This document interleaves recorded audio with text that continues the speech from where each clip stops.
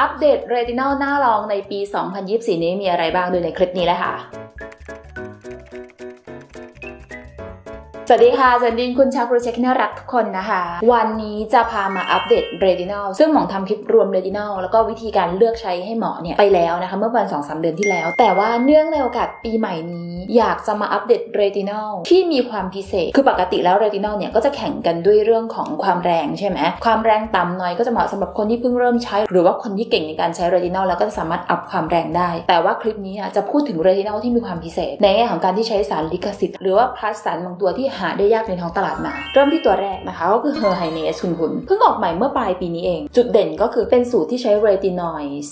3.8%ประกอบไปด้วยอนุพันธ์ของวิตามิน A ทั้งหมด 2 ฟอร์มนะคะ ก็จะมีตัวเรตินอลหรือว่า retinal นะ 0.5%ค่ะ แล้วก็ใช้อนุพันธ์ที่เป็นตัว HPR 0.5%สูตรนี้คือเลือกอนุพันธ์ที่ออกฤทธิ์ได้ดีมาทั้งหมดเลยค่ะ ไม่ว่าจะเป็น retinal ที่กลายร่างแค่ครั้งเดียวนะ ก็กลายเป็นตัว retinoic acid ซึ่งเป็น active form ที่เป็นฟอร์มยาแล้วนะคะ หรืออนุพันธ์ HPR เนี่ยไม่ต้องกลายร่างก็สามารถที่จะออกฤทธิ์ได้เติมมาด้วยตัว retinol booster นะคะที่ช่วย boost ให้เรตินอลสามารถทำงานได้ดีขึ้น ที่ขาดไม่ได้เลยคือเทคโนโลยี phytosome ช่วยเพิ่มความเสถียรแล้วก็เพิ่มการดูดซึมเรตินอลที่สำคัญ plus มาด้วยตัวเมลาโทนินเป็น active ที่ยังไม่ค่อยเจอนักในบ้านเรานะคะ มาช่วยในการต้านอนุมูลอิสระได้ดี แล้วก็ลดการอักเสบผิวได้ด้วยเพราะฉะนั้นโดยรวมเป็นสูตรที่ช่วยในการลดริ้วรอยให้ผิวใสสุขภาพดี แล้วก็ลดการอักเสบผิวได้ มาที่เรตินอลจากบ้านเซราวีค่ะ อันนี้ก็เพิ่งเข้าไทยสดๆร้อนๆเลย แบรนด์เคลมว่าเป็นเรตินอลที่เหมาะสำหรับมือใหม่ ซึ่งใช้ในการลดสิวแล้วก็รอยดำสิวได้ด้วยเรตินอลที่ใช้เนี่ยใช้เป็นเรตินอลความแรง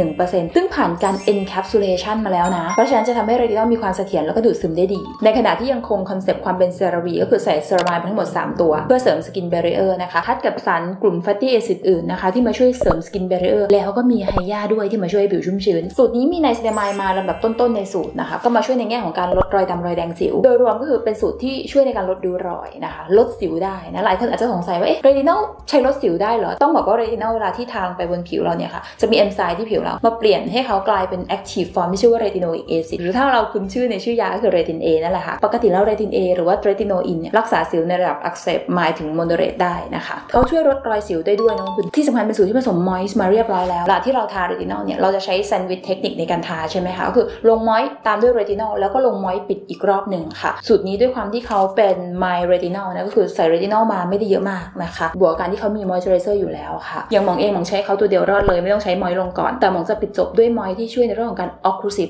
ทับอีกทีนะคะเพื่อป้องกันการระเหยของน้ำต่อไปเป็นเรตินอลกลุ่มที่มาช่วยในแง่ของความขาวใสค่ะก็จะเป็นตัว Pond's นะคะ อันนี้ก็เพิ่งเปิดตัวใหม่สดๆร้อนๆเลยนะคะ โดยเขาใช้ตัวเรตินอลที่ชื่อว่า hexyl retinol ซึ่งเป็นสารลิขสิทธิ์จากพรคือมาช่วยทั้งการลดริ้วรอยแล้วก็ให้ผิวกระจ่างใสค่ะซึ่ง hexyl retinol เนี่ยเขามีรายงานนะคะคือทางแบรนด์เขาเอาไปทดลอง compare กับตัว tretinoin ก็คือตัว Retin-A นั่นแหละคุณ ปกติ Retin-A ในท้องตลาดเนี่ยค่ะ สตาร์ทที่ 0.025%นะก็เปอร์เซ็นต์ใกล้เคียง ผลปรากฏว่า hexyl retinol ที่อยู่ในพรเนี่ยค่ะ สามารถลดริ้วรอยได้ดีกว่า tretinoin 0.02%แต่ในแง่ของความกระจ่างใสเนี่ยทำได้พอๆกัน นอกจากนี้ยังเสริมฤทธิ์มาด้วยเรตินอลซีที่มาช่วยลดริ้วรอย แล้วก็มี niacinamide ที่มาช่วยเพิ่มความขาวกระจ่างใสนะคะ ดังนั้นก็เลยเป็นสูตรที่สามารถลดริ้วรอยให้ผิวดูสุขภาพดีดูกระจ่างใสได้ด้วย ต่อมาจะเป็น Clinique Smart Clinical Repair นะคุณขวดม่วงนะอันนี้เป็นเป็นสูตรที่มีมานานแล้ว คือหมอมีโอกาสเข้าร่วม session สัมภาษณ์คุณเจเน็ตซึ่งเขาเป็น VP Product Development จากทางอเมริกานะคะ เขาเป็นคนพัฒนา Product ของ Clinique ตัวนี้นะ คือมีหลาย ๆ อย่างที่น่าสนใจมากคุณคุณ นอกจากเขาจะใช้อนุพันธ์วิตามิน A ตัวที่ชื่อ HPR ซึ่งเหมือนกับที่อยู่ในเฮอร์ไฮเนสเนี่ยนะคะ ออกฤทธิ์ได้เลยไม่ต้องกลายร่าง และในแง่ของการระคายเคืองนี่ก็น้อยด้วย เขายังใส่เป็นสารตระกูลเพปไทด์เป็น peptide complex นะคะที่ชื่อว่า CL1870 มาช่วยกระตุ้นการสร้างคอลลาเจนทำให้ลดริ้วรอยผิวดูอ่อนเยาว์คุณคุณมีสารสกัดที่เป็นเกมาหลายตัวมากค่ะ ช่วยในการต้านอนุมูลอิสระ ซึ่งก็เป็นตระกูล extract ที่แบบดี ๆ ทั้งนั้น มี sodium hyaluronate แล้วก็ acetyl glucosamine ค่ะ มากระตุ้นการสร้างไฮยาตามธรรมชาติของผิว รวมถึงมี ascorbyl glucoside ซึ่งเป็นอนุพันธ์วิตามินซีเนาะที่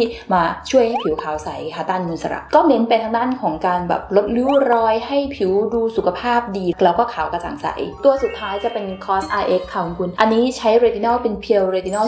0.5%เลย เป็นตัวที่มีเอฟเฟกกับผิวในแง่ของผลข้างเคียงการระคายเคืองนะคะ มากที่สุดเมื่อเทียบกับทุกตัวที่หมอพูดมาในวันนี้ เหมาะกับคนที่เก่งในการใช้เรตินอลแล้ว ผิวทนทานระดับหนึ่งแล้ว แต่ด้วยความที่เปอร์เซ็นต์แรงเขาก็จะออกฤทธิ์ได้ดีเช่นกันนะ ความน่าสนใจก็คือใช้อนุพันธ์วิตามินอ e ีอะค่ะสองฟอร์มก็คือตัว tocopherol แล้วก็ tocotrienol tocotrienol เนี่ยเป็น active form ของวิตามินอ e ีออกฤทธิ์ได้ดีกว่าวิตามินอ e ีทั่วไปประมาณ 60 เท่าเลยคุณหาได้ยากมากที่สกินแคร์จะใช้ตัว active form ตัวนี้แล้วก็ใช้ base เป็นตัว squalane ซึ่งเป็น base oil นะคุณเพราะฉะนั้น texture เขาจะมีความเป็น oil แตกต่างจากตัวอื่นที่เป็นเซรั่มนะคะข้อดีของ squalane ก็คือมีฤทธิ์ในการ occlusive แล้วก็ emollient คือเคลือบล็อกป้องกันการสูญเสียน้ำให้ผิวรวมถึงช่วยผิวดูเรียบเนียน เพราะฉะนั้นเวลาที่ใช้เรตินอลของ COSRX เนี่ยเราลงมอยก่อนรอบหนึ่งตามด้วยเรตินอล COSRX ใช่ไหมคะส่วนตัวมองว่าไม่จำเป็นที่จะต้องใช้มอยมาปิดอีกรอบนะเพราะว่าเขามีตัว occlusive มาเรียบร้อยแล้วค่ะ COSRX เนี่ยก็ยังคงคอนเซปต์ความมินิมอลนะก็คือใส่มาน้อยแต่ pick up ตัวที่เป็นตัวออกฤทธิ์ดีมาทั้งนั้นเลยนะคะพูดน้อยต่อยหนักอะแล้วหมออะเพิ่งมาเห็นว่าเขาทำ packaging ดีอะค่ะคือเป็น packaging ที่รีไซเคิลได้อย่างตัวขวดเนี่ยก็เป็นตัว glass recycling นะคะ label ที่อยู่ที่ขวดเนี่ยก็เป็น label ที่สามารถ remove ได้คือลอกออกได้ เพื่อเอาขวดไปรีไซเคิลได้ และที่สำคัญตัว dropper ข้างในคุณให้ดู ไม่แน่ใจว่ามองเห็นไหมอะตรงเนี้ยรูมันจะแคบลงเขาเรียกว่า dropper wiper นะคะเป็นตัวที่มาช่วยลดความปนเปื้อนนะคะถึงแม้เขาจะเป็นขวด dropper เนี่ยการปนเปื้อนก็จะน้อยกว่า dropper ทั่วไปมาอัปเดตให้ทั้งหมด 5 ตัวที่น่าสนใจคุณคุณคุณคุณที่ใช้สุดไหนอยู่ก็อย่าลืมมาคอมเมนต์มามอยกันนะคะและถ้าเห็นว่าคลิปนี้มีประโยชน์นะคะยังมองก็ฝากกด subscribe ไลค์แล้วก็แชร์ให้กับคนที่คุณรักฝากติดตามรีวิวสุขภาพความงามตามหลักการแพทย์ในช่องกรูเช็คกันนี้กรียมังไปแล้ว